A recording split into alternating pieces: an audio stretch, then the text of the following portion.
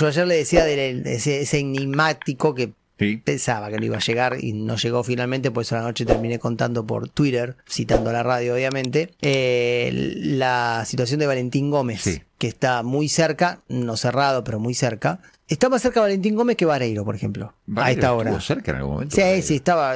era- Va cambiando. Yo creo que ayer lo de San Lorenzo fue una suerte de puesta en escena de Moretti que entiendo, no comparto, pero entiendo, Por los hinchas. que hace una diciendo, le dije que no a, a River, le dije que Mm, con el no. dedito. Así, Y le pedí y no va a y le ser, y si después sale por la cláusula, Claro. y bueno, se fue por la cláusula, ¿qué quieren que haga? Claro. Entonces yo me cubrí, Sí. ¿me explico? Sí, sí.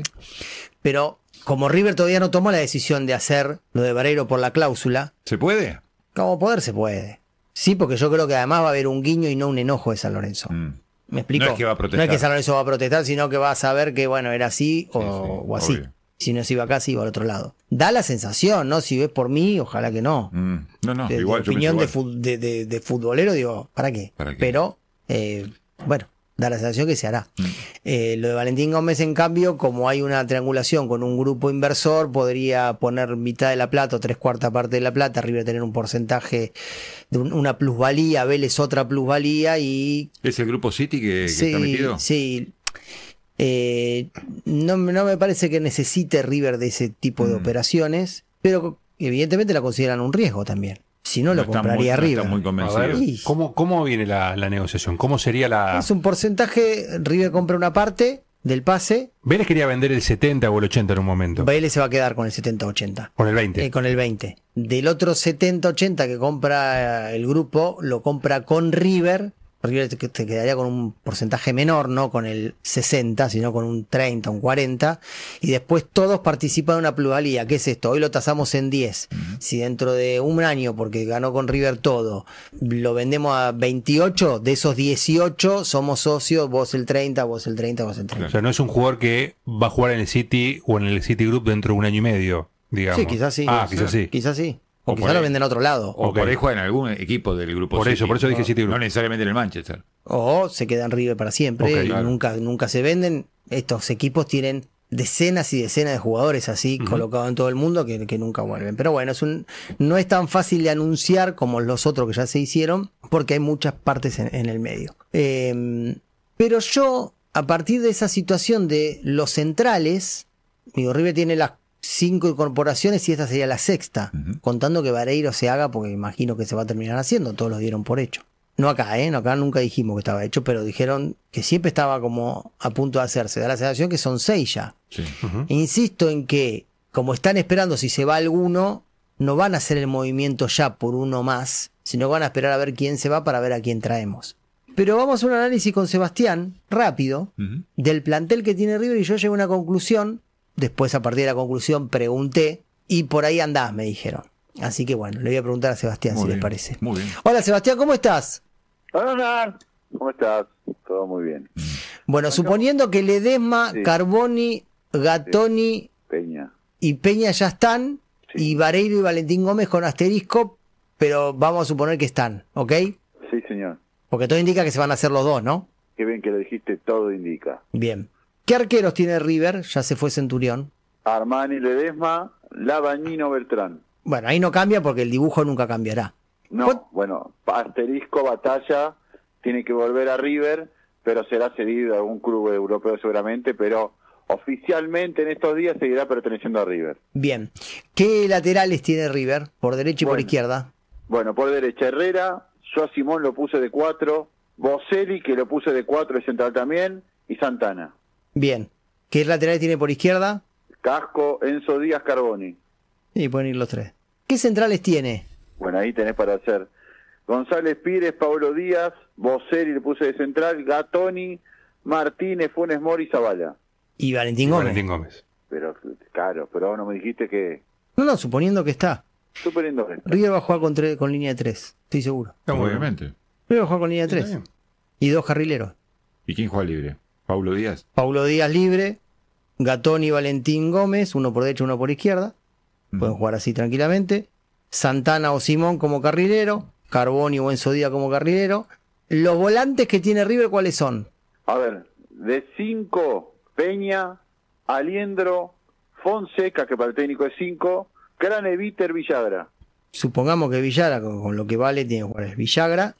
Ahí, ¿cómo juegan ustedes? Yo jugaría con un Depende del 5, un 5 Depende del clásico. ¿no? Y depende del rival.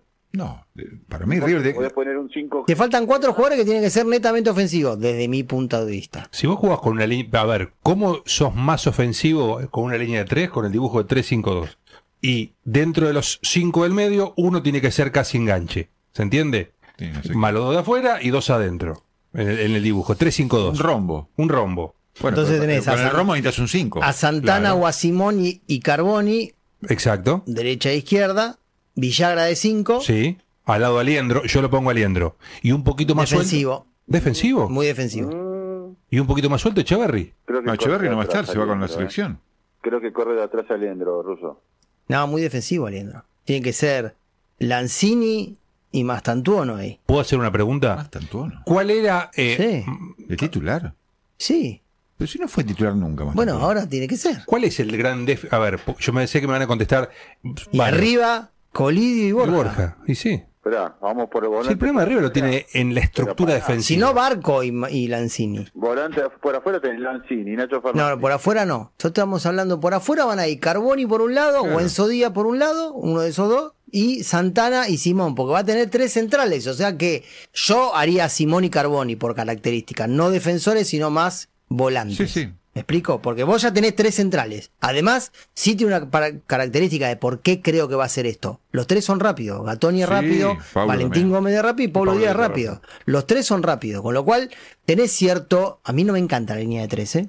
Voy a Tiene que estar muy bien trabajado. En el, fútbol no me argentino, encanta. en el fútbol argentino es mala palabra. ¿eh? Pero Ah. eh, ins- veo que al traer centrales, centrales, centrales, y el único que se puede ir, de todo lo que nombró, se puede ir Mar- eh, Martínez. Por ahora, Paulo Díaz no se fue. Nada. González Pires sigue. Mm. Boselli está. No hay uno más que Martínez que se vaya. Por lo tanto, vos decís, se va a tener siete centrales. Sí. O juega con. Y además no tiene Copa Argentina, tiene Copa Libertadores y torneo local. Juega con línea de tres de acá a la China.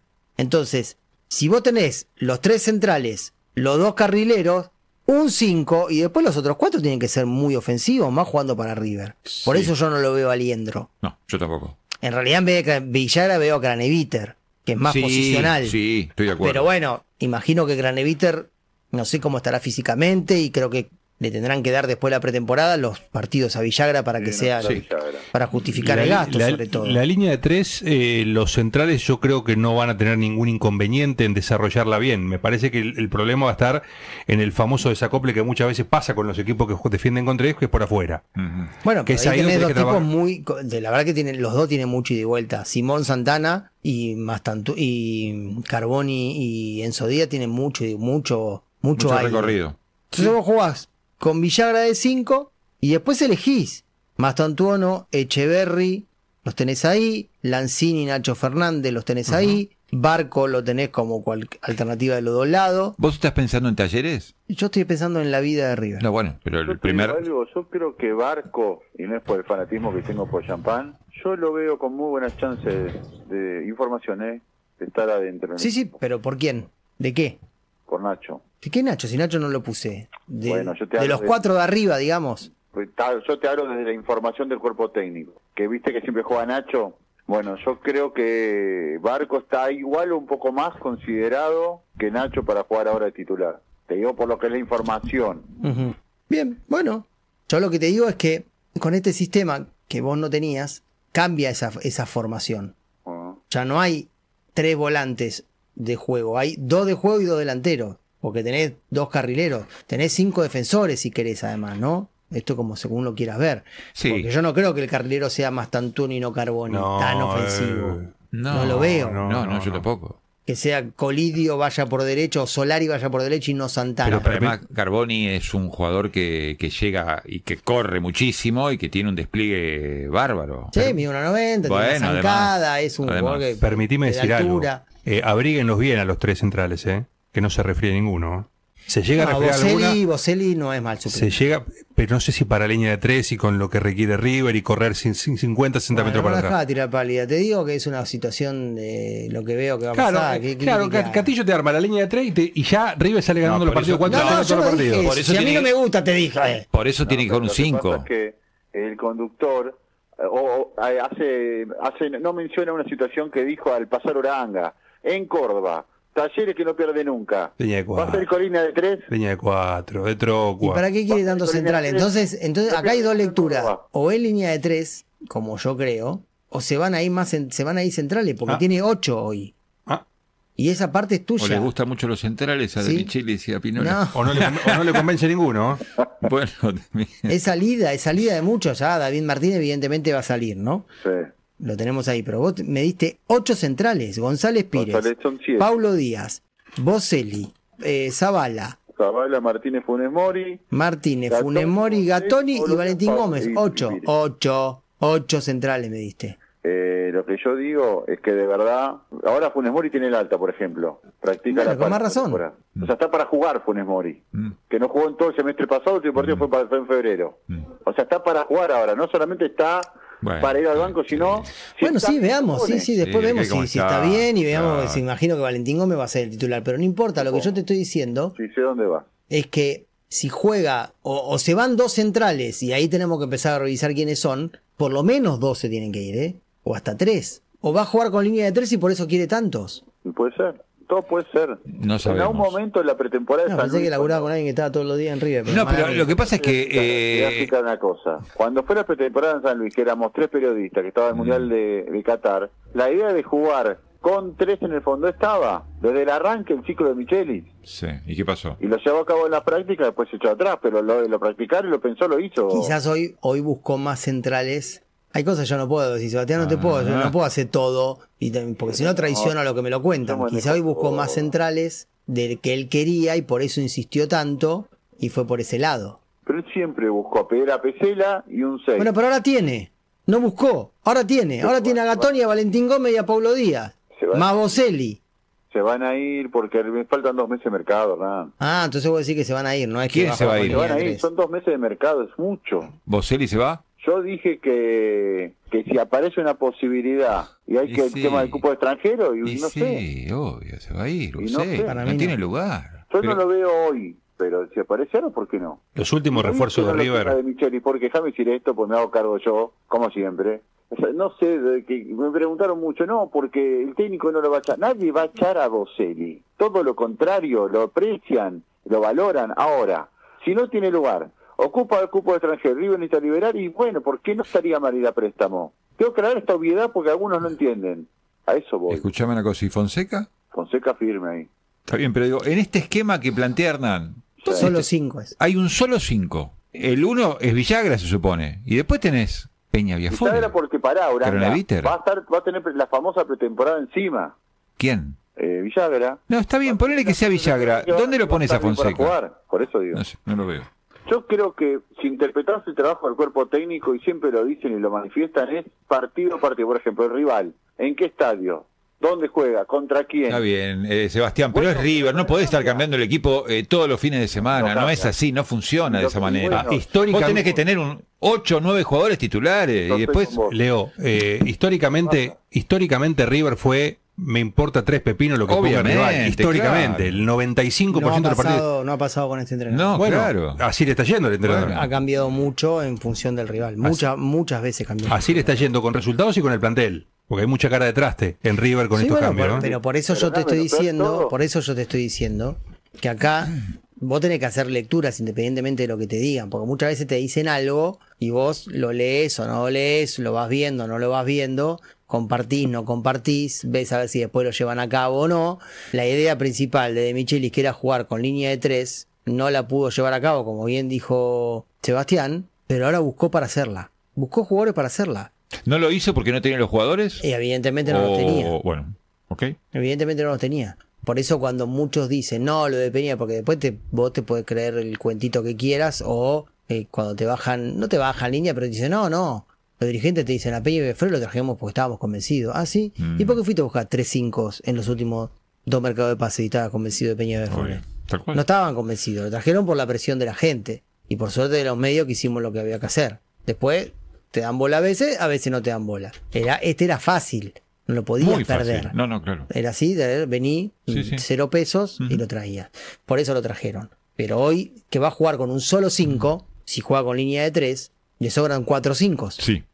Por eso. ¿Me explico? Por eso pregunté si- por Fonseca. Yo entiendo que en alguna parte del partido puede jugar Aliendro, como dijo Santiago, o Fonseca, Mm. como dijo Sebastián, en el lugar de Lanzini, Nacho, Mastantuono, Vos, Echeverri lo- vos lo- los ponés muy firmes a Lanzini y a Mastantuono. Eso me sorprende. No, no, pero eso no es información, ¿eh? Yo- es Me gusto, sorprende porque Lanzini no tiene, no tiene minutos Bueno, En No algún, tiene momento, minutos. en algún momento va a tener que jugar. y si no- Mastantuono es suplente, Sí, por la edad, obviamente. bueno, por la edad, vos me decís que te Yo estás digo- enamorado no, de. yo no ¿cómo me llama? enamoro de nadie. Yamal, ¿cómo es? Yamal. Ese. La milla mal. Eh, lo que digo es que no, no, no es una opinión personal, es lo que veo de Michelis. No lo pone. Bueno, pero quizás ahora lo va poniendo. Bueno, Claro. vamos a verlo. A ver, ahí, ahora ahí- está la pretemporada que antes no tenían. Los jugadores que no jugaron, caso Lanzini, tienen una oportunidad histórica o tremenda de ganarse De el puesto en la pretemporada. ¿Cuánto Se renovó, Lanzini, renovó un año, renovó sus seis meses que eran a convenir porque se quiso quedar y no dejar esta imagen. Claro. O sea,